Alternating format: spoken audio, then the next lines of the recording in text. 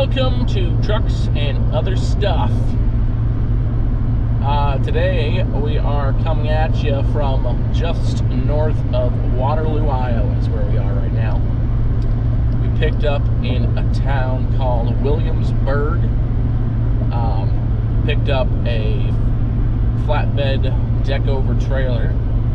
Um, it's a pintle hitch, not a gooseneck trailer. Um, think it's roughly 20 feet long. It appears that way. Fits just nicely on the trailer.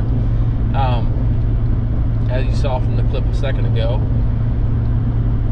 it was loaded on by by uh, overhead crane in their shop, and uh, not exactly sure how we're going to unload it, but uh, we're we're delivering same day.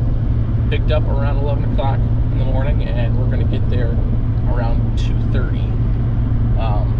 Delivery location is um, Northwood, Iowa, close to I-35, uh, on the Minnesota border, basically uh, up there. So, see if we can find another load back out of that area. I don't think I'm going to, but it's only two hours from the house, so probably just going to go home. Uh, thanks for watching. Enjoy this clip of the unload, and we'll we'll get some of the scenery and and uh, it's a beautiful day here in in uh, central Iowa. Sun's out. I guess it would sort of be partly cloudy.